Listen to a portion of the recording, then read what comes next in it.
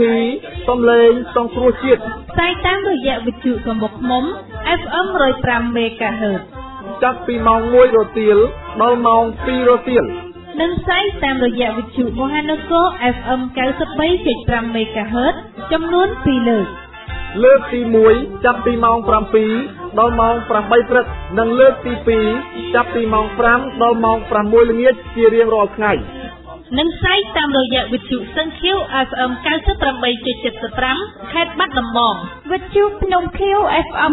105ខេត្តបាត់ដំបងនិងវិទ្យុភ្នំខៀវ FM 88.30ខេត្តបន្ទាយមានជ័យចាប់ពីម៉ោង6ល្ងាចរហូតដល់ម៉ោង7យប់វិទ្យុអង្គររដ្ឋាខេត្តសៀមរាប95.5 MHz ចាប់ពីម៉ោង6ល្ងាចដល់ម៉ោង7យប់ និងវិទ្យុកំពង់ចាម FM 99.70 MHz ចាប់ពីម៉ោង5រហូតដល់ម៉ោង6ល្ងាចនិងនៅវិទ្យុសំឡេងកូនខ្មែរខេត្តកំពត FM 88.70 MHz ចំនួន2លើក លើកទី1នៅវេលាម៉ោង2ដល់ម៉ោង3រសៀលនិងលើកទី2នៅវេលាម៉ោង5ដល់ម៉ោង6ល្ងាច វិទ្យុមហានគរក្រុងស្ទឹងតែនខេត្តកំពង់ធំ FM 93.75 MHz វេលាម៉ោង5ដល់ម៉ោង6ល្ងាចចានាងខ្ញុំយ៉នលីណេតសូមអនុញ្ញាតគោរពនឹងជម្រាបសួរបងប្អូនជនរួមជាតិដែលកំពុងតាមដានស្ដាប់កម្មវិធីសំឡេងសង្គ្រោះជាតិជាទីមេត្រី ចាថ្ងៃនេះគឺថ្ងៃច័ន្ទ14រោចដាច់ខែស្រាបឆ្នាំរកានពស័កពុទ្ធសករាជ2561ចាដែលត្រូវនឹងថ្ងៃទី21ខែសីហា ឆ្នាំ2017លោកអ្នកនាងជាទីមេត្រីមុននឹងលោកអ្នកនាងបានស្ដាប់នៅព័ត៌មានពឹស្ដាប់ពីកម្មវិធីសម្លេងសង្គ្រោះជាតិនាងខ្ញុំសូមជូននៅមេត្តាព័ត៌មានជាមុនសិន ព័ត៌មានប្រចាំថ្ងៃនេតិខ្មែរកម្ពុជាក្រោមរួមជាមួយនឹងប្រសាសន៍ថ្នាក់ដឹកនាំគណៈបកសង្គ្រោះជាតិជាបន្តសូមលោកអ្នកនាងតាមដានស្ដាប់នៅការផ្សាយរបស់យើងខ្ញុំ ដែលមានជាបន្តបន្ទាប់ដូចតទៅ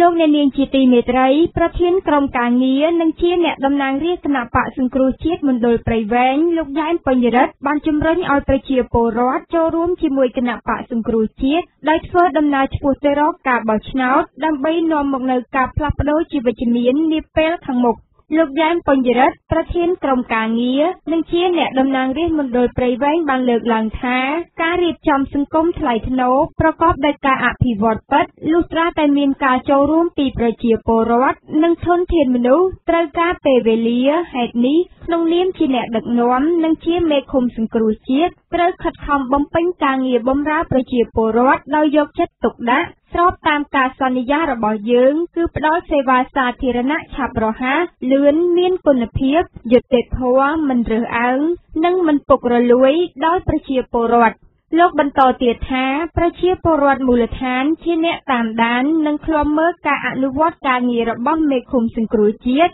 និងអ្នកដឹកនាំគណៈបកសង្គ្រោះជាតិបើពេលដឹកនាំហើយមានភាពពុករលួយ នោះគណៈបកសង្គ្រោះជាតិនឹងធ្វើការផ្លាស់ប្តូរចេញភ្លាមៗហើយដាក់មេឃុំថ្មីដែលបម្រើរាជពិតមកជំនួសវិញអ្នកតំណាងរាស្ត្ររូបនេះក៏បានស្នើដល់ប្រជាពលរដ្ឋ សូមឲ្យមានភាពអត់ធ្មត់ ហើយចូលរួមនិងបន្តដំណើរជាមួយគណៈបកសង្គ្រោះជាតិដើម្បីដឹកនាំរាជរដ្ឋាភិបាលឆ្នាំ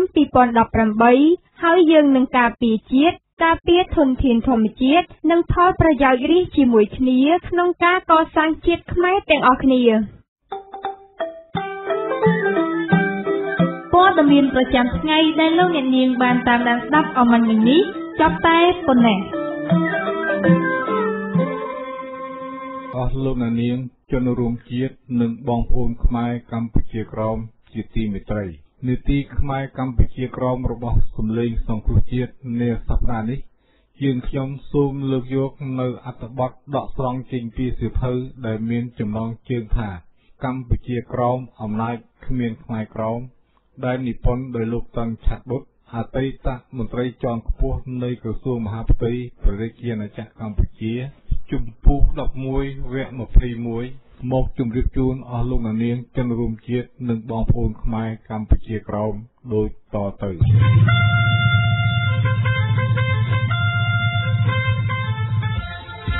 នៅចុងឆ្នាំ1946វៀនប៊ិងដែលជាជនកុម្មុយនីសជ្រុលនិយមម្នាក់បានមកជំនួសរង្វាន់យ៉ាវ នៅឆ្នាំ1947 ក្រុមវ៉ាហាវដែលពីមុនបានចូលរួមជាមួយវៀតមិញបានបែកចេញពីពួកនេះវិញ ហើយរត់មកចូលជាមួយបារាំងម្ដង មេបញ្ជាការខាងយោធាឈ្មោះនាំលឿដែលពីដើមជាអ្នកបើកបររថយន្តឈ្នួលម្នាក់មិនចេះអក្សរបារាំងបានបំពាក់ស័ក្តិឲ្យជាឧត្តមសេនីយ៍លោកបាគុកមេដឹកនាំយោធាម្នាក់ទៀតបានមកសុំចោះចូលនឹងបារាំង5ដង មេនិកាយឈ្មោះវិនភូ ត្រូវបានវៀតមិញសម្លាប់ចោលទៅ នៅឆ្នាំ1948សមាជិកវៀតមិញខ្លះបានរត់ចូលជួរហើយនាំគ្នាបង្កើតនិកាយមួយឈ្មោះប៊ិនស្វឹងក្រោមការដឹកនាំរបស់បៃយាងដែលបានរត់រួចពីគុកកោះត្រឡាចមកវិញបៃយាងបានចូលនឹងបារាំងហើយបានពាក់ស័ក្តិជាឧត្តមសេនីយ៍ដូចណាំលូដែរបារាំងបានឲ្យពួកនេះមើលការពារសន្តិសុខនៅព្រៃនគរតែដោយគ្មានសមត្ថភាពពួកនេះគិតតែប្រព្រឹត្តអំពើអាស្រូវ មានលក់ដូរគ្រឿងញៀនបើកបនស្រីពិស្យាឡានៅថ្ងៃទី14ខែកុម្ភៈឆ្នាំ1948កងទ័ពបារាំងបានបើកប្រតិបត្តិការមួយនៅតំបន់វាលផុកទួលតាម៉ូកដោយដាក់ឈ្មោះថា Vega ក្នុងបំណងចាប់មេដឹកនាំកុម្មុយនីសឈ្មោះវៀនប៊ិងឲ្យបាន 4ថ្ងៃក្រោយមកប្រតិបត្តិការនេះត្រូវបរាជ័យទាំងស្រុង នៅថ្ងៃទី1ខែមីនាកងវមួយក្រុមមាន70ឡានស៊ីវិលការពារដោយកងយោធាបារាំងត្រូវបានវៀតមិញវាយប្រហារនៅតាមផ្លូវទៅដាឡាតមានទាហាននិងស៊ីវិល82នាក់ត្រូវស្លាប់ក្នុងនោះ មានវរៈស្នេហ៍ឯកបារាំងម្នាក់ផងឈ្មោះលោកឌីសាវិញេនិង350នាក់ផ្សេងទៀតត្រូវបានវៀតមិញចាប់បានជាងចូលទៅក្នុងព្រៃតាមទម្លាប់របស់អ្នកស្រុកដើម្បីការពារកុំឲ្យសត្វសាហាវឬចោរមកអុកឡុកគេតែងតែធ្វើរបងឫស្សីស្រួចឬធ្វើជំរងរាយជុំវិញភូមិស្រុកគេដោយយកតាមគំនិតនេះហើយដែលលោកមេបញ្ជាការកងទ័ពបារាំងនៅកូសាំងស៊ីនប៊ីយេដឺឡាតួ ចាប់តាំងពីឆ្នាំ1948ទៅបានបញ្ជាឲ្យសង់ប៉ុស្តិ៍ការពារនៅតាមផ្លូវនិងតាមស្រុកសឹងគ្រប់កន្លែងនៅកូសាំងស៊ីនដែលមានទាំងអស់រហូតដល់ទៅ3000នៅដើមឡើយប៉ុស្តិ៍នេះមានប្រសិទ្ធភាពណាស់ការពារអ្នកស្រុកមិនឲ្យចោរព្រៃចូលមកប្លន់ឬវៀតមិញចូលមកទាប៉ុណ្ដាឬបង្កបង្កើតអសន្តិសុខតែមិនយូរប៉ុន្មានវៀតមិញបានប្រើឧបាយកលថ្មីចាប់អ្នកមុខអ្នកការឬអ្នកស្រែចម្ការណា ហ៊ានធ្វើប្រតិបត្តិការជាមួយអាជ្ញាធរបារាំងដោយចោទថាជាជនក្បត់ជាតិគេច្រានចាប់ពួកអ្នកមានអ្នកមានហើយបានកាត់ម្រាមដៃឬម្រាមជើងឬត្រចៀកឡាក់ហើយផ្ញើមកឲ្យគ្រួសារដើម្បីទារប្រាក់ជាច្រើនជាធ្នូនឹងការដោះលែងវិញជាកំហែងដល់អ្នកស្រុកយូយូគេសម្លាប់ចោលម្នាក់រួចយកខ្មោចមកចោលតាមផ្លូវឲ្យអ្នកស្រុកឃើញគ្រប់គ្រប់គ្នា ចអំពើព្រៃផ្សៃរបស់យួនវៀតមិញមកលើខ្មែរក្រោមតាំងពីពេលហូជីមិញបង្កើតបកសម្ព័ន្ធឯករាជ្យវៀតណាមវៀតណាមដុកឡាបដងមិញនៅឆ្នាំ1941ឬហៅកាត់ថាវៀតមិញមក នៅកម្ពុជាក្រោមក្រុមនេះបានធ្វើសកម្មភាពខ្លាំងក្លាប្រឆាំងនឹងរដ្ឋអំណាចបារាំងនៅចុងសង្គ្រាមសកលលោកលើកទី2 ជាពិសេសនៅពេលជប៉ុនកាន់កាប់ឥណ្ឌូចិន ខ្មែរក្រមរស់នៅក្នុងភាពក្រីក្រ ទុក្ខវេទនាជាទីបំផុតជាងពេលណាទាំងអស់នៅតុងកឹងក្រុមហូជីមិញទុកជប៉ុនជាអ្នកឈ្លានពានដោយបារាំងដែរតែនៅកម្ពុជាក្រោមក្រុមនេះបានចូលដៃជាមួយជប៉ុនដើម្បីរំលាយរដ្ឋអំណាចបារាំងយួនចេះបត់បែនតាមស្ថានភាពនិងតាមពេលវេលាតែខ្មែរក្រមវិញដោយគ្មានអ្នកដឹកនាំចាំតែទទួលរងគ្រោះជានិច្ច ទោះបីក្រុមណាចាញ់ឬក្រុមណាឈ្នះក៏ដោយហើយម្នាក់ម្នាក់តែតែនឹកគិតក្នុងខួរក្បាលថានេះមកពីកម្មផលដែលគេបានធ្វើការពិជាតិមុនទស្សនៈទានទៅលើលទ្ធិកម្មផលរបស់ខ្មែរក្រមនេះហើយធ្វើឲ្យយួនកាន់តែមានកម្លាំងឡើងនិងមានជំនឿឡើងលើសកម្មភាពរបស់គេក្នុងការឈ្លានពានលេបយកទឹកដីខ្មែរក្នុងរយៈពេល6ខែដែលជប៉ុនកាន់អំណាចវៀតមិញក៏បានបង្កើនសកម្មភាពអសន្តិសុខរបស់គេថែមទៀត ខ្មែរក្រមធ្វើស្រែចម្ការមិនបានគ្មានប្រកាសខ្វះគ្រឿងប្រើប្រាស់ប្រចាំថ្ងៃគ្មានអង្ករដាំបាយទេបើមានអង្ករបន្តិចបន្តួចមិនហ៊ានដាំបាយទេ គេបបរហូបវិញអស់អង្ករតិចម្នាក់ម្នាក់ហត់ទឹកបបរពេញពោះឆ្អែតតែមួយពេលខ្លីខ្មែរក្រមរស់នៅវេទនាដោយសត្វធាតខ្លួនក៏ជំងឺសើស្បែកសឹងគ្រប់គ្នាដោយគ្មានសាប៊ូសម្អាតសម្អាងកាយសោះនោះអ្នកខ្លះកើតចៃពេញក្បាលចៃរហូតដល់លើសម្លៀកបំពាក់ទៀត ចំណែកកន្ទេលដេកវិញក៏មានសង្កែកពាសពេញដែរខ្លះមានសម្លៀកបំពាក់បិទបាំងរាងកាយដែរតែពោពេញដោយបំណាស់ឬរហែករណែងរណោងគ្មានអ្វីប៉ះថែមទៀតខ្លះយកបាវករងមកបិទបាំងគេខ្មាស់ខ្លះមិនហ៊ានចេញពីផ្ទះទេព្រោះខ្មាស់គេខ្លះទៀតមានសម្លៀកបំពាក់មួយបន្លាស់ឆ្លាស់គ្នាស្លៀកពាក់ម្ដងម្នាក់ពេលដើរចេញទៅក្រៅផ្ទះនៅពេលយប់គ្មានព្រេងដុតគេចំហៀវខ្លាញ់ត្រីយកមកដុតជំនួសវិញ គ្មានតែកេះគេយកចំបើងមកចងក្រងព្រឹកឲ្យតឹងខ្នាន់ហើយដុតជាគុកទុកឲ្យឆេះនៅព្រំព្រំជានិច្ចក្ររហេវរហាមយួនធ្វើបាបថែមលើជំងឺអាសន្នរោគរៀបស្បាទៀតខ្មែរក្រមស្លាប់អស់ច្រើនឥតគណនាយប់ឡើងស្ងាត់ជងុំខ្លាចដេកក្នុងរណ្ដៅជីកសម្រាប់ការពារខ្លួនពីការវាយប្រហារគ្នាឬទម្លាក់គ្រាប់បែកបើយប់ខែភ្លឺអ្នកស្រុកធូរចិត្តបន្តិចតែបើយប់ងងឹតវិញឮតែឆ្កែព្រុសឬឆ្កែលូ អ្នកស្រុកខ្លាចព្រឺក្បាលមិនហ៊ានដេកលក់ទេឆ្កែផ្អើលហើយព្រុសឬលូមកពីក្រុមវាបិញគេដើរធ្វើសកម្មភាពនៅពេលយប់តែគេបង្កើតពាក្យគេចាំរាមទៅវិញថាជំងឺអាសន្នរោគដោយកក្រឹកកក្រែងខ្លះហៅថាសឹកងងឹតខ្មែរក្រមចេះតែជឿឥតពិចារណា ហើយកាន់តែខ្លាចថែមទៀតវេទនាប៉ុណ្ណឹងហើយខ្មែរក្រមនៅមានចិត្តអាណិតអាសូរអ្នកផ្សេងទៀតខំជួយលាក់បំពួននិងចិញ្ចឹមបារាំងដែលរត់គេចពីសត្រូវ បើជប៉ុនឬយួនចាប់បានគេវាយធ្វើបាបព្រឹកចាប់តាគុកឬប្រហារជីវិតតែម្ដងខ្មែរក្រមខំជួយបារាំងយកផែអង្កាមទៅលាបឲ្យឃើញខ្មៅខ្មៅឲ្យពាក់ដួលនាំទៅលាក់នៅវាលស្រែឬក្នុងព្រៃហើយលួចយកបាយទៅឲ្យពិសាឲ្យបានគ្រប់គ្រាន់ថែមទៀតនៅថ្ងៃទី2ខែកញ្ញាឆ្នាំ1945នៅពេលដែលជប៉ុនចុះហត្ថលេខាតាំងសង្គ្រាម ឆ្លៀតឱកាសហូជីមិញបានប្រកាសឯករាជ្យវៀតណាមដែលជាការនាំឲ្យពួកវៀតមិញនៅកម្ពុជាក្រោមបានឱកាសបង្កើតសកម្មភាពរបស់គេមួយកម្រិតទៀតពួកនេះបានរឹបអូសយកទ្រព្យសម្បត្តិខ្មែរក្រមអស់សឹងតែគ្រប់គ្នាមេត្រូវមនទាជ្រូកដល់កំបិតពូថៅរហូតដល់កាប់ឆ្កែចោលទៀតដោយសារគេខ្លាចខ្មែរបះបោតដៃនឹងគេឯចំណែកវត្តអារាមខ្មែរវិញយ៉ាងហោចណាស់ មាន45វត្តដែលត្រូវយួនវៀតមិញបានដុតបំផ្លាញចោលនេះគ្រាន់តែនៅក្នុងខេត្តឃ្លាំងពលាវនិងក្រមួនស ដោយមិននិយាយខេត្តផ្សេងផ្សេងទៀតដែលមានការខូចខាតបំផ្លិចបំផ្លាញដោយវៀតមិញមានដូចគ្នាដែរវត្តដែលវៀតមិញបានដុតបំផ្លាញចោលមានជាអាចវត្តដីក្រហមវត្តគោទឺវត្តពុទ្លេវត្តគោហេបចាស់វត្តគោហេបថ្មីវត្តអង្គក្លៅវត្តគៀនស្វាយវត្តដូនណៃ វត្តលបុស្បូវវត្តដូនសៅវត្តកោះដូងវត្តតាអ៊ុកវត្តខ្នារងវត្តចំពាម3វត្តតកៅវត្តទឹកសាបវត្តប្រលៀនវត្តពីមអញ្ចាញវត្តដៃជាខ្មៅវត្តព្រែកចិនវត្តគួនក្អែកវត្តព្រែកចាកវត្តបារិញវត្តព្រែកថ្នោតវត្តផ្លឹងវត្តកំពង់ក្រមវត្តកគីឡា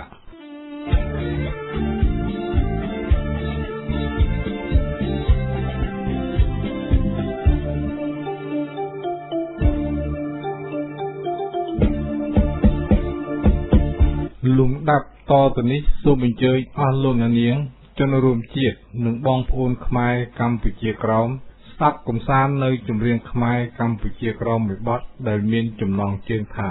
កម្លាំងសាមគ្គីច្រៀងជាពួកដកស្រង់ចេញពីថាចម្រៀងនៃផលិតកម្មខ្មែរក្រោមវល់5ដូចតទៅ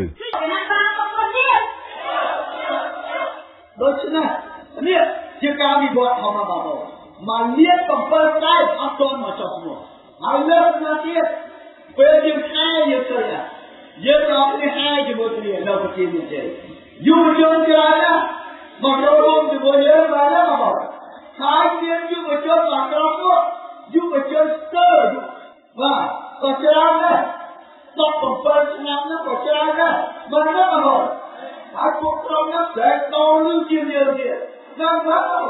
មួយយើងបានណាបងហើយមានយុវជនមកក្រោមនោះយុវជនស្ទើរបាទក៏ច្រើនដែរ17ឆ្នាំនោះក៏ច្រើនដែរមិនណាបងហើយពួកក្រុមនោះតែតលឺជាយើងទៀតណាស់បងពួកនោះជាចាំមកជាមានទៀតណាបងដូច្នេះចំតោនៅក្នុងចាក់តាមធ្វើការនៅគ្រប់ក្រុមទាំងអស់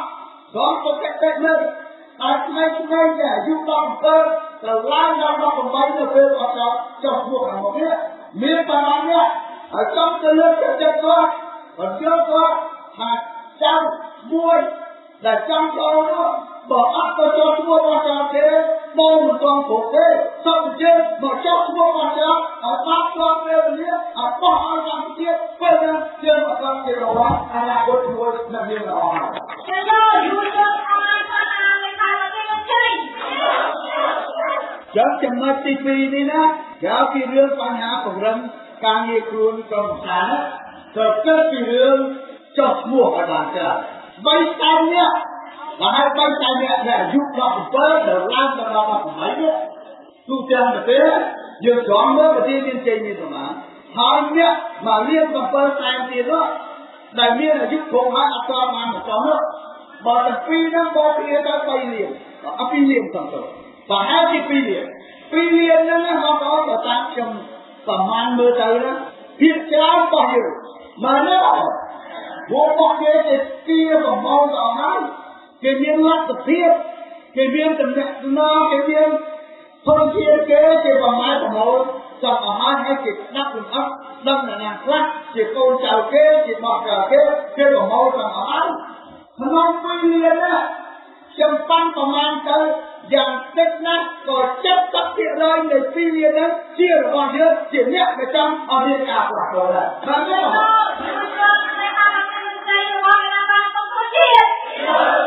អញ្ចឹងបើយើងគិត70%នៃពីលាន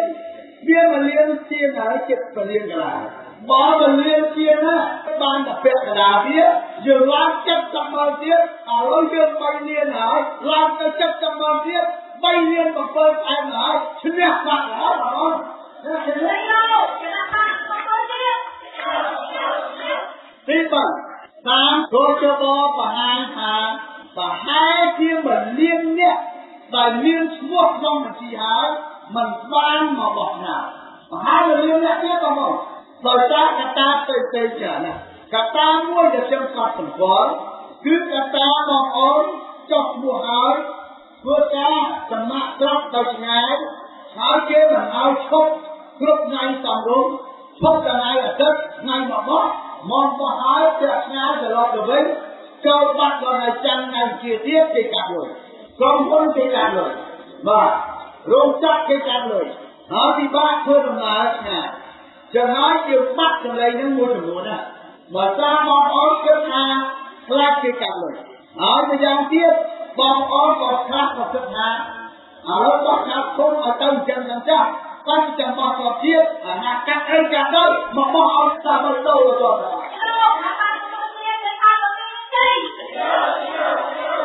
ហើយមកលៀងណាក៏អ្នកនៅក្រៅប្រទេសនៅថៃនៅអីក៏មិនតិចដែរដែលមកមិនរួចនោះហើយក៏គាត់សម្រាប់ចិត្តថាចាំ2018មកមកហើយមានប្រជាពលរដ្ឋមួយចំនួនទៀតនេះជាចរិតនយោបាយដែលយើងបានកត់សម្គាល់កន្លងមកប្រជាពលរដ្ឋដែលបោះឆ្នោតឲ្យគណៈបកប្រឆាំងនៅក្រមប្រឹក្សាគុំសង្កាត់នេះកន្លងមកច្រើនតែបោះឲ្យទឹកជា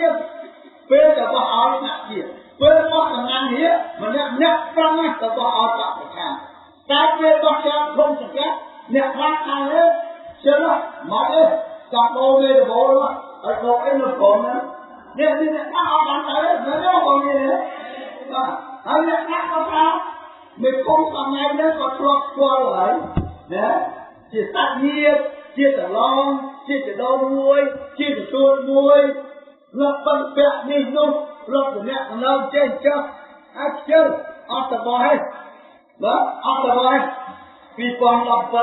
កា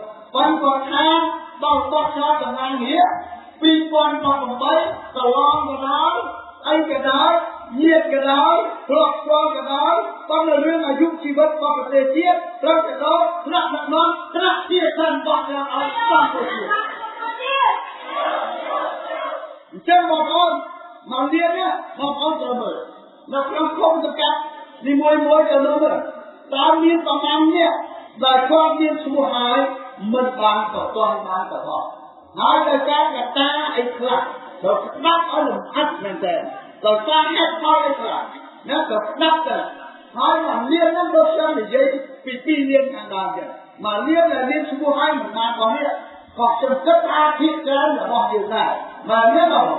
បើរបស់គេគេបង្កលក្ខណៈគេសម្រួលគេដោះស្រាយគេមានលទ្ធភាពពាក្យច្រើនក៏មកហើយហើយមកហើយអ្នកដែលនៅសល់មកលៀនហ្នឹងពាក្យច្រើនបងយើងទៀតមិនណាបងនេះលើកចាក់ឡើងជាទៅពុតទៅមកបងលៀនណារបស់យើង70%ទៀត ឬក៏ដល់60ពីរយទៀត60ម៉ឺនទៀតមកបោះ2018នេះឈ្នះដាច់ឆ្ងាយហើយបងប្អូនគឺធ្វើចំគោលដល់ពីទៀតហើយទៀតបងប្អូនប៉ុន្តែដល់នេះយើងត្រូវធ្វើការបាទមិនទៅចាំលៀងធ្លាក់មកទេបងប្អូនណាយើងត្រូវធ្វើការកិច្ចការនោះឲ្យច្បាស់លាស់ដាក់ឲ្យបាននៅក្នុងដៃរបស់យើងក្នុងគុំក្នុងកាយដែលឡើយមួយមួយអត់គេគេទៅធ្វើហ្នឹងគេធ្វើហ្នឹង យើងយើងត្រូវធ្វើកិច្ចការនោះស្ដាប់ឲ្យច្បាស់ហ្នឹងដែរយកខ្ញុំសូមបងប្អូនចំណុចទី3ហ្នឹងគឺរឿងបញ្ហាអ្នកដែលមានជំងឺឲ្យឲ្យចំណុចទី4ដែលខ្ញុំសូមស្នើឲ្យស្ដាប់ដឹកនាំមូលដ្ឋានរបស់យើងគិតគូរជាបណ្ដាបណ្ដាឲ្យហើយទៅពីរឿងបញ្ហាអ្នកងារសង្កេតការកុំចាំបាច់ដល់ថ្ងៃទៀតមកដល់ចាក់ដាក់អានឹងគឺអត់ទាន់ទេបើតែយើងឱកាសនេះ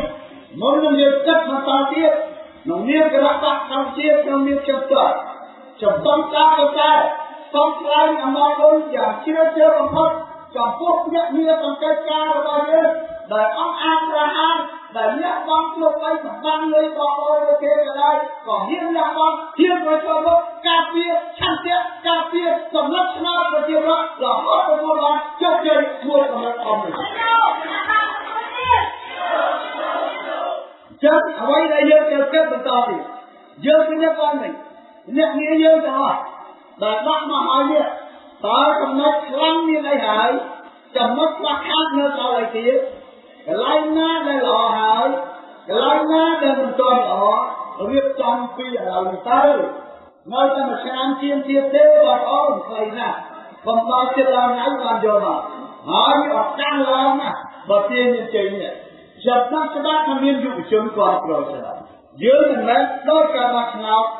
គុំសង្កាត់យើងទៅយកអ្នកសង្កេតការនៅក្នុងគុំអញ្ចឹងយើងពិបាករកជួបការយុវជនច្រើននៅតំបន់ដែលក្រុមទីប្រជុំជនឥ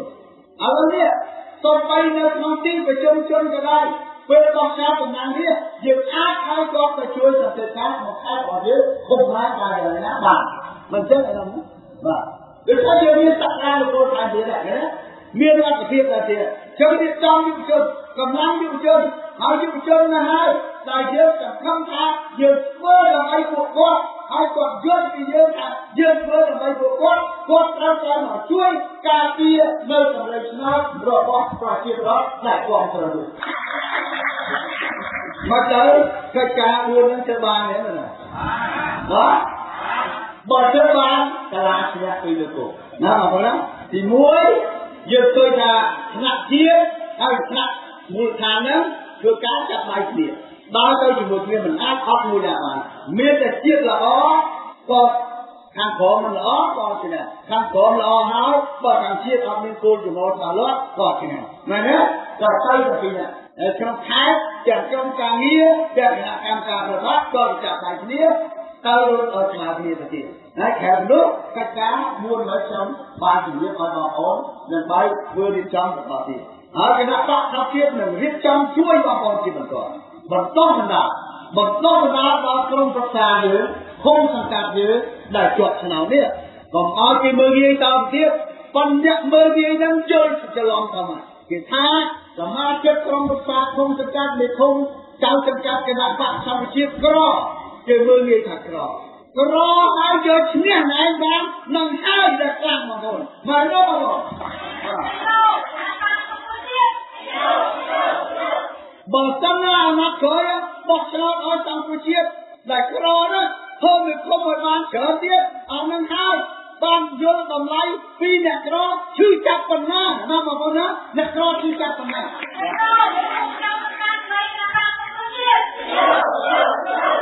មានអ្នកខ្លះគេមើលងាយអូថាមេឃុំចៅសង្កាត់គណៈបកសង្ជាតិអត់មានចំណេះវិជ្ជាអីទេរត់តែម៉ូតូដុបរត់ទៅទុកទុកលក់នេះលក់នោះដូចជាយល់ច្រឡំធំហើយនិយាយចិត្តដូចមើលងាយខ្លួនឯងទៅវិញណាក្នុងគ្នាគាត់មើលមើលកាលនោះអ្នកធំធំកាលនោះរៀនដល់ណាក់ណាដែរជួនអ្នកខ្លះរៀនទៀតជាងវិឃុំអស់ណានេះរៀនឡើងសញ្ញាបត្រទៀតជាងវិឃុំកម្ពុជាកុំយ៉ាសញ្ញាបត្រគេឲ្យសញ្ញាបត្រអត់រៀនអត់មានអីណាមកណានិយាយរឿងសញ្ញាបត្រដែលបានរៀនចូលត្រឹមត្រូវបាទដែលរៀនចូលត្រឹមត្រូវនោះវាមិនជាទៀតគ្នាទេមនុស្សយើងចេះពីរៀននៅលើបងមានពីរកហើយបើជាប់ហើយសង្គមជាតិបន្ថែមរៀនរៀនរៀនរៀនតាមទៀតគឺចេះមែនតើបងប្អូន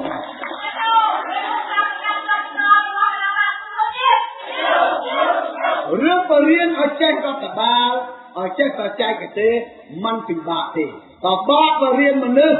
ឲ្យមានចិត្តត្រង់នឹងជាតិត្រង់នឹងវិជាប្រដ្ឋនឹងពិបាករៀនទេណាបងប្អូនបើឡូវមនុស្សរបស់គណៈបកចំជាតិនេះដែលជាប់ឆ្នោតនេះចេះហើយស្រាច់ហើយចេះស្រឡាញ់វិជាប្រដ្ឋចេះស្រឡាញ់ជាតិហើយអត់មានអីពិបាករឿងរៀនគ្រប់គ្រងធំសំខាន់មួយទេបងប្អូន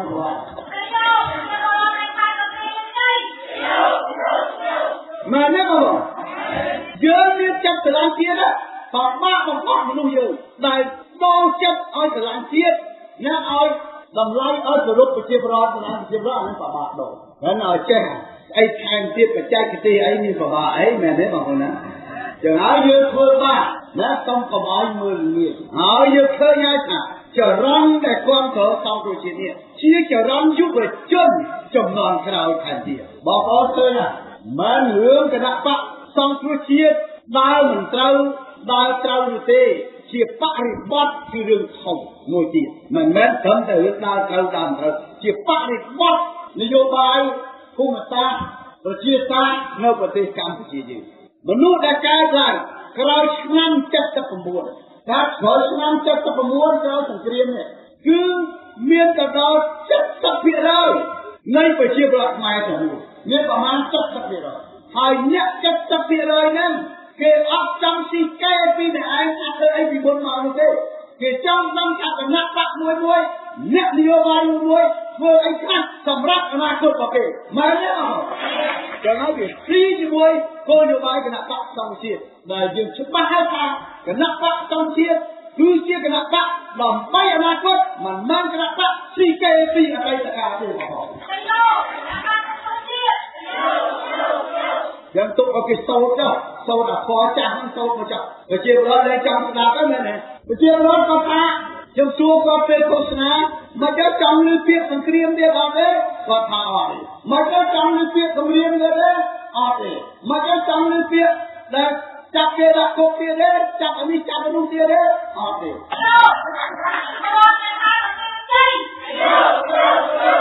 ឡូវនេះក្មេងៗខ្ញុំសួរក្មេងៗមិនបានមកស្រឡាញ់គណៈបកកម្ពុជាច្រើន ជួនកាលអូនម៉ែនៅក្នុងទេគាត់នឹងគិតផ្លិចទៅប្រហែលឲ្យកម្ពុជាមែនទេបងមានទេណាជួនកាលគេហៅណាមកអបខំឲ្យទៅជាមួយបានលុយផ្សាយតាំងមកនិយាយឡើងមហាឲ្យកម្ពុជាមានទេណាម៉េងមកបងម៉េងនេះកុំគិតទេក្មេងត្រូវការអ្វីដែលទាន់សម័យអ្វីដែលជឿនលឿនអ្វីដែលទៅមុខទៀតបងប្អូនមើលទៅ ខុសគ្នាពីបរិបទនយោបាយពីមុនឆ្ងាយណាស់អ្នកណាបានពាក់មួកកម្ពុជាដែលមានរូបសញ្ញាព្រះសិទ្ធិចូលហាងកាហ្វេហាងកាទៀវដើរកាត់តាហឹងហាមែនទេមែនទេបងប្អូនអើហឹងហា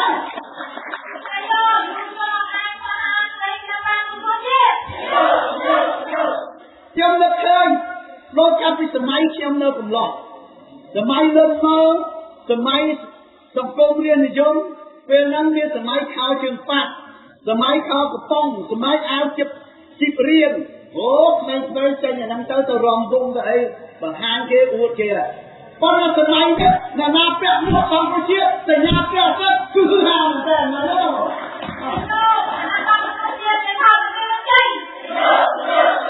ចាំបានសំដីកូនខាងនោះក៏ដោយ បានមួកសំគេជាទៅយើងក៏អួតឲ្យទៀតអួតតែ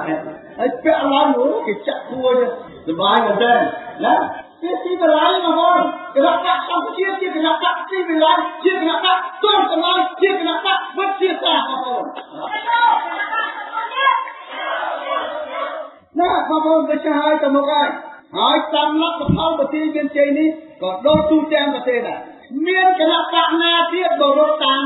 ទាន់នឹងគៀកគណៈបកពីរហ្នឹងទេនៅប្រទេសកម្ពុជានេះសាហាវសាហាវបកតូចតូចខ្ញុំមើលឃើញទៅនៅប្រទេសមានជ័យនេះពីដើមមានច្រើនមែនបានលទ្ធផលច្រើនមែនក៏ឥឡូវនេះចុះហើយចុះហើយនៅសល់តែ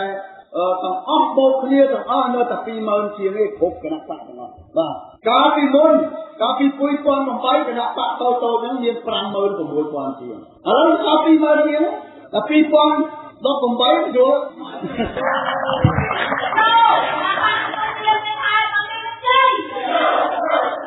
ខំជេរតាមគ្រូជាដល់កាន់តែខ្លាំងទៅមានមួយក្រុមជេរមួយក្រុមគម្រាមជាបសំខាន់ខាងអាធំគម្រាមអាតូចជេ រទៅជាហើយឥឡូវខ្ញុំចង់ជំរាបជូនថាបរិបទនយោបាយកម្ពុជានេះដែលខ្ញុំសម័យសម័យដោយប្រទេសដែលជឿនលឿនក្នុងពិភពលោកនៅសហរដ្ឋអាមេរិកពីដើមក៏មានបកនយោបាយច្រើនដែរប៉ុន្តែទីបំផុតចុងក្រោយ បាក់ខ្លួនគ្រប់គ្នានៅសល់បកពីរបកតាជាអ្នករដ្ឋនិងបកប្រជាធិបតេយ្យផ្លាស់ប្ដូរគ្នាដឹកនាំប្រជាពលរដ្ឋគេគេឲ្យទៅដូចគ្នាម្ដងតែនេះឲ្យឋានៈឈ្នះទៅឋានៈធ្វើល្អគេឲ្យមកអាណាទៀតទៅបើធ្វើមិនល្អគេដងចេញណាគេដងចេញគេអាណាទុកឲ្យស៊ីស្ទើរឡើងឡើងហ្នឹងទេបាទអញ្ចឹងគេទៅចង្ហើយទៅសល់ពីតូចតូចរហូតឡើងគាត់ហើយលោកប្រទេស ខាងអឺរ៉ុបខ្លះក៏អាចនៅមានត្រឹមតែ3ទេគេមានខាងឆ្វេងខាងស្ដាំនិងកណ្ដាលប៉ុន្តែជាទៀតច្រើនជាប់តែពីរពីរឯខ្លះគ្នាមាន3ប៉ុន្តែច្រើនជាប់តែពីរបាទរបបរបស់កម្ពុជាយើងនេះបានដល់ដំណើរការនយោបាយមួយដែលប្រជាពលរដ្ឋបានយល់ច្បាស់ហើយថាបើមានបកនយោបាយច្រើនក៏ដោយជាពហុបកក៏ដោយតែគាត់ជ្រើសរើសយកបកណាដែលអាចផ្លាស់ប្ដូរវាបានប៉ុណ្ណាព្រោះគាត់ចង់ផ្លាស់ប្ដូរហ្នឹងណា បើឃើញថាគណៈបកកណ្ដាលអំណាចធ្វើមិនល្អគាត់រកឲ្យបោះឲ្យគណៈបកណាដែលធំជាងគេ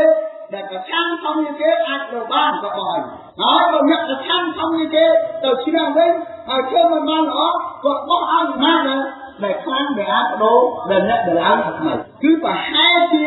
ពិបាកហើយពិបាកហើយគណៈបកតូចតូចគួរអាណិតណាបាទពួកខ្ញុំឆ្លប់គណៈបកតូចដែរ កាត់ទៅសិនមនុស្សបើជាចាប់ដើមបាន3ដែរដូច្នេះហើយយើងឃើញថាអ្វីដែលជាចរន្តនយោបាយគឺជាល្អមែនទែនសម្រាប់គណៈបកកម្ពុជាផងដូចខ្ញុំនិយាយនេះទាំងចរន្តយុវជនទាំងបករបត់នៃការពហុបកហ្នឹងគឺថាប្រជាប្រដ្ឋចាប់បានដុំដុំគំនិតមកលើបកណាដែលធំធំដើម្បីនាំមកក្នុងការផ្លាស់ប្ដូរហើយទាំងអស់នេះជាសក្តានុពលដែលខ្ញុំចង់ឲ្យថ្នាក់ដឹកនាំយកឲ្យបានយល់ឲ្យច្រើនឲ្យជ្រៅទៅ ដែលខ្ញុំយកឱកាសនេះដែលឲ្យដំប្រធានក្រុមការងារប្រធានប្រតិបត្តិខេត្តអញ្ញាដែលខ្ញុំបានជួបអ្នកដឹកនាំដោយរចនាផ្ទាល់នេះគឺខ្ញុំចង់ឲ្យយល់រឿងហ្នឹងឲ្យច្រើនទៀតគឺយើងទៅមុខហើយមិនងាយទេបងប្អូនធនធានដែលយើងយកបាន2017នេះជាធនធានគ្រឹះសំខាន់ណាស់ជាសក្តានុពលមួយធំណាស់បងប្អូនមិនមែនធម្មតាទេ ទូទាំងប្រទេសណាបងប្អូនសមាជិកក្រុមប្រឹក្សាក្នុងប្រទេសតាមក្លឹបកផលបណ្ដោះតាម2017នេះយើងបានចិត្តចាក់កណ្ដាលបងប្អូនយើងបាន5ខ្លួនបាទសមាជិកក្រុមការក្នុងកាត់គណៈបកកណ្ដាលចុះពី8000ជាងមកនៅត្រឹម6000ជាងទេបិទបាទហើយយើងរកដល់ខ្លួនជាដូចជាកម្លាំងកោម្នាក់ដូចគ្នា សមាជិកក្រុមសាយើងច្រើនណាស់ហើយធនធាននេះបងប្អូនសំខាន់ណាស់ដែលយើងកន្លងមកយើងមានគោលនយោបាយល្អយើងមានកម្មវិធីនយោបាយល្អយើងមានចំហនយោបាយច្បាស់លាស់បងយើងពឹងយើងស្ដារយើងស្ទើរបាទយើងស្ទើរយើងស្ទើរធនធានទៅបាទណាបងធនធានយើងតិចជាងគេទេបាទតែលុយណាណាលុយក៏តិចជាងគេដែរណាណាចាយលុយតិចជាងគេដែរណាបងណាដូច្នេះស្ទើរធនធាន មនុស្សស្ទើរធនធានសហការកំពី2018នេះចូលលើមូលដ្ឋានធនធានដែលយើងមាននេះ5000ក្រុមប្រឹក្សាក្រុមការនេះធ្វើឲ្យសក្តានុពលដំណើរយកជ័យជំនះកាន់តែបានជោគជ័យឡើងកាន់តែបាន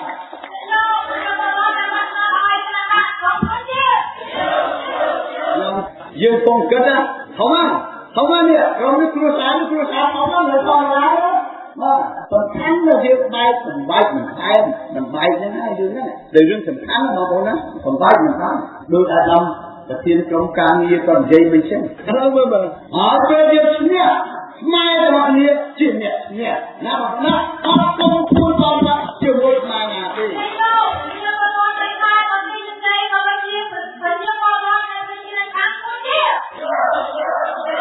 ចំនួនដែលខ្មែរបាច់បាក់គ្នា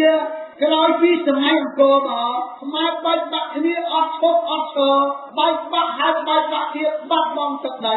រហូតដល់បាត់បង់អាយុជីវិតខ្មែរយ៉ាងច្រើនដោយសារអ្នកនយោបាយខ្មែរប្រកាន់និន្នាការបាច់បាក់គ្នាអ្នកឈ្នះធ្វើបាបអ្នកចាញ់គ្រប់ចំនួនកន្លងមកនេះហើយដែលធ្វើឲ្យខ្មែរបាច់បាក់គ្នាខ្មែរជីកាត់រហូតដល់សម័យនេះដូច្នេះបើចង់ឲ្យខ្មែរ ឈប់បែកបាក់គ្នាបានឈប់ការជឿចាប់តទៅទៀតបោះឲ្យសង្គ្រោះជាតិឆ្នាំ2018ខ្ញុំកម្មសខាក្នុងនាមគណៈបកប្រជាជាតិសូមសន្យាថាពេលសង្គ្រោះជាតិដឹកនាំរាជរដ្ឋាភិបាលអត់មានអត់បានបែកបាក់គ្នាតទៅទៀតទេ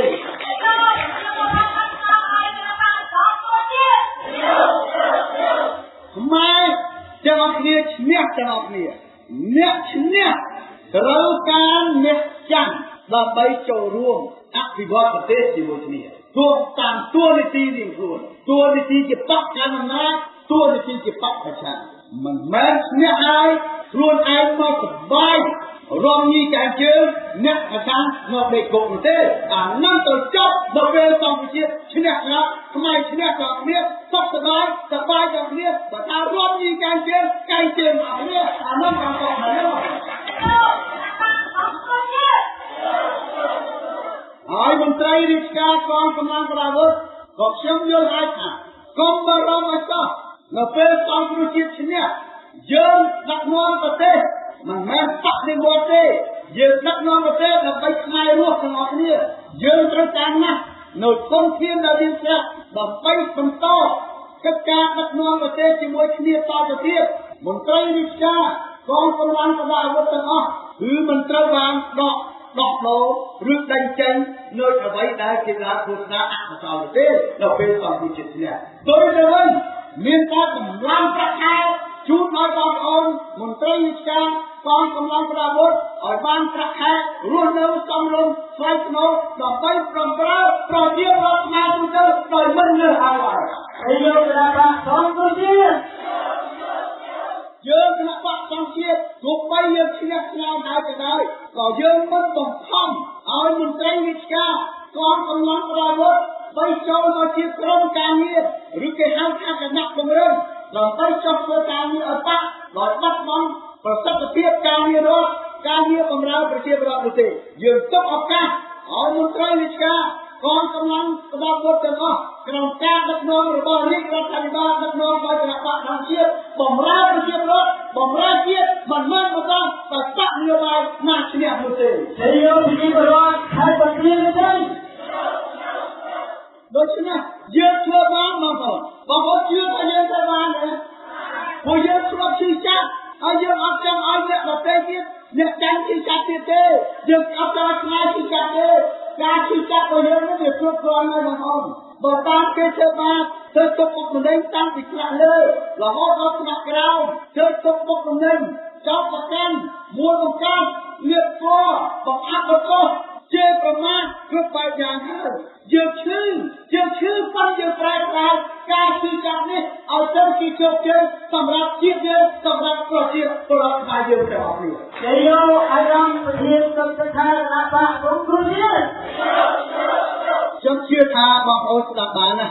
ណាប៉ុណ្ណឹងណាបងប្អូនណាពួកខ្ញុំមានឱកាសជួបជាមួយបងប្អូនខ្ញុំសប្បាយចិត្តណាស់ហើយពីដើមឡើយអាណត្តិមុនខ្ញុំមកតិចណាស់ខេតនៅឆ្ងាយនេះខ្ញុំមិនបានទៅមកជួបបងប្អូនប្រហែលនេះកន្លង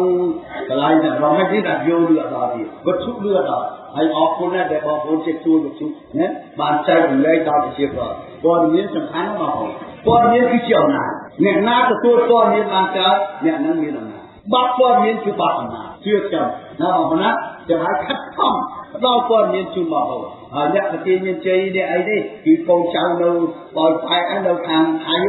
ដល់ព័ត៌មានមក Facebook ចង្ការទិញ Facebook ឲ្យម៉ែមើលណាណាតែឲ្យមើលចុចឲ្យមើលទឹកអាប់ឲ្យប្រាប់ទៀតចាំទៅចុចមើលទៅដល់រឿងដល់ហើយប្រាប់ទៀតឯងណាតែមិនដោចាំអត់មានលុយអីមកឲ្យឯងទៀតទេពាក់លុយទៀតអត់អស់ទៀតណាមានចាំអត់ទេណាឃើញទេ ឥឡូវចៅរំនិយាយហើយកូនរំឲ្យអូវិញហើយអ្នកសម័យជំនឿមែនទេបងប្អូនបាទប៉ុន្តែនាំទៅរកផ្លូវអូបាទមិនមែននាំរកផ្លូវទេបាទខ្ញុំជឿថា យល់ហើយអរគុណណាស់ហើយអរគុណដែលបានស្ដាប់យ៉ាងយកចិត្តទុកដាក់ហើយកម្មវិធីខ្ញុំមានពីរកន្លែងទៀតនៅខេត្តជាវិជ័យនេះតែនេះនៅពីរៀបគឺអស្ចារ្យបងប្អូនអើយដែលគេនិយាយថាពីមុនគេនិយាយថាតើណាសង្គ្រោះជាតិឈ្នះគេចាញ់មានសង្គ្រាមគេនិយាយចឹងមុនលោកដល់ណាចាំឥឡូវឈ្នះនៅពីរៀបគឺពីរៀបអត់សង្គ្រាមហ្មងសុបាយទៅចាសុខសប្បាយញ អ្នកផ្សារគ្រប់ផ្សារយើងទៅទៅគឺសប្បាយមែនទេសង្គ្រោះជាតិឈ្នះមុនគេថាតាណាសង្គ្រោះជាតិឈ្នះមានសង្គ្រាមចាប់ឈ្នះហើយក៏យើងរត់ស្មើទាំងឡាយរបស់គ្នាទៅហើយចាប់ឈ្នះគ្នាទៅណាមកនេះនេះនេះអើទៅស្បាយហើយសូមអរគុណសូមជូនពរបងប្អូនទាំងអស់សូមទទួលបាននៅពុទ្ធធម៌ទាំង4ប្រការគឺអាយុវណ្ណៈសុខៈនិងពលៈកុំឲ្យគ្រៀងគ្រៀងឡើយសូមអរគុណជាយករបស់កម្ពុជាជាយកប្រជាប្រដ្ឋខ្មែរខេត្តប្រទានមានជ័យជាយកកម្មជនកម្មរីសមាជិកក្រុមប្រឹក្សាជាប់ឆ្នោតរបស់គណៈបកសង្គមជាតិដ៏អស្ចារ្យចា៎បងប្អូនអ្នកស្ដាប់កម្មវិធីសម្លេងសង្គ្រោះជាតិជាទីមេត្រីរឿងកំសាន្តខ្លីដែលបងប្អូនស្ដាប់អំបញ្ញមិញនេះចប់តែប៉ុណ្ណេះសូមអរគុណលោក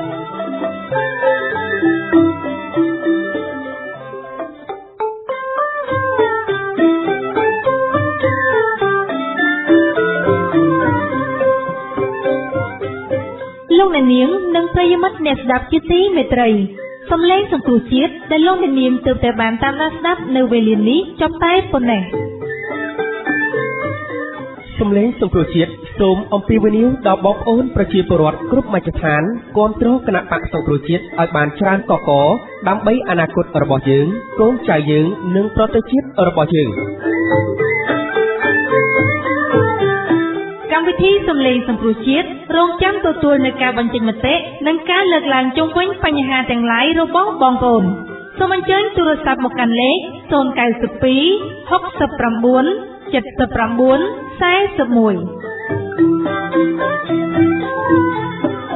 41សំឡេងសង្គ្រោះជាតិផ្ដល់ព័ត៌មានដើម្បីការផ្លាស់ប្ដូរសូមជម្រាបលា